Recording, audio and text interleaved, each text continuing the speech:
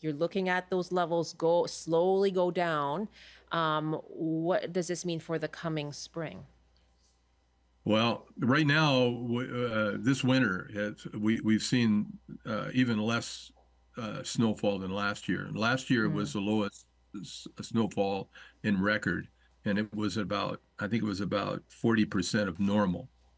Uh, and and right now, the problem that we've have is we're getting lots of clouds and a lot of storm clouds, but we're just not getting precipitation out of it. Uh, and then also the other thing is it's much warmer. So the lower elevation, like McBride itself, has no snow. Now I've I've lived here for 40 years in McBride, and this is the first year that w- that we've ever had no snow on the ground this oh. time of year. And we haven't had snow on the ground. We got a little bit in October, and we've been pretty much snow free from November, December, and to this date in January.